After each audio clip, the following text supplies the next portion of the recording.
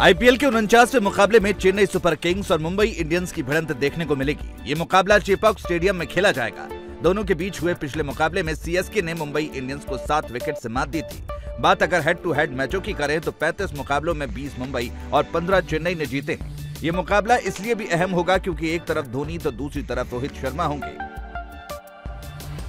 पिछली जीत के बाद रॉयल चैलेंजर्स बेंगलोर और दिल्ली कैपिटल्स आईपीएल के 50वें मैच में आमने सामने होंगे। आरसीबी ने पिछले मैच में लखनऊ को धूल चटाई थी तो वहीं दिल्ली ने गुजरात टाइटंस को मात देते हुए उलटफेर किया था। दोनों टीमों के हेड टू हेड मुकाबलों की बात करें तो उनतीस मुकाबलों में 10 दिल्ली ने, जबकि 18 मैच बेंगलुरु ने जीते हैं। यह मुकाबला अरुण जेटली स्टेडियम में खेला जाएगा। भारत के पूर्व खिलाड़ी आरपी सिंह ने हाल ही में एक इंटरव्यू दिया है, जिसमें उन्होंने जसप्रीत बुमराह और मोहम्मद शमी के बाद मोहम्मद सिराज को बेस्ट तेज गेंदबाज बताया है। आरपी सिंह ने बताया कि मैं लंबे समय से सिराज को फॉलो कर रहा हूँ। जब उन्होंने टीम इंडिया में जगह बनाई थी, तब उनका ग्राफ ऊपर नीचे होता रहता था। मुझे लगता है कि वो जल्द बुमराह की जगह ले सकते हैं। खराब फॉर्म के कारण टेस्ट टीम से बाहर किए गए सूर्य कुमार यादव अब 7 जून से 11 जून तक ओवल में ऑस्ट्रेलिया के खिलाफ आईसीसी डब्ल्यूटीसी फाइनल के लिए स्टैंड बाय खिलाड़ी के तौर पर लंदन जा सकते हैं। बीसीसीआई के एक सूत्र ने बताया है कि ऑफिशियल तौर पर यह तय नहीं किया गया है, लेकिन सूर्या को हाल ही में बोला गया है कि वो अपना यूके का वीज़ा तैयार रखें।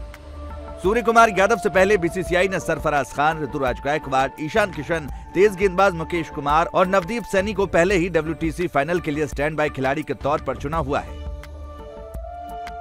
पूर्व भारतीय स्पिनर हरभजन सिंह ने विराट कोहली को दोबारा टीम इंडिया की कप्तानी सौंपे जाने में दिलचस्पी नहीं दिखाई है। दरअसल कोहली ने 2021 में आरसीबी और भारत की टी टीम की कप्तानी छोड़ी थी। भज्जी के मुताबिक कोहली को स्टैंड इन कप्तान बनाना एक बड़ा कदम पीछे लेने जैसा होगा।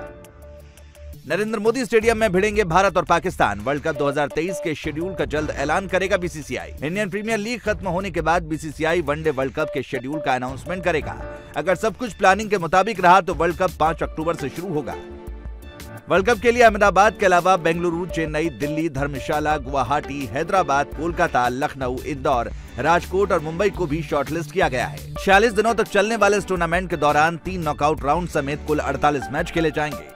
रिपोर्ट्स के मुताबिक खबरें सामने आ रही हैं कि भारतीय टीम ने बीसीसीआई से रिक्वेस्ट की है कि स्पिनरों को फ़ायदा पहुँचाने वाले स्टेडियमों में ऑस्ट्रेलिया, इंग्लैंड, न्यूजीलैंड और दक्षिण अफ्रीका के खिलाफ मैच खेले जाएँ, जिससे टीम इंडिया को फ़ायदा मिले। ओलंपिक मेडलिस्ट नीरज चोपड़ा का मिशन पेरिस शुरू हो गया है। ओलंपिक में गोल्ड मेडलिस्ट रहे नीरज दोहा में डायमंड लीग में अपनी दावेदारी पेश करेंगे। नीरज चोपड़ा इस लीग में मौजूदा चैंपियन है। पिछले साल ज्यूरिक में ये खिताब जीतने वाले चोपड़ा पहले भारतीय एथलीट थे।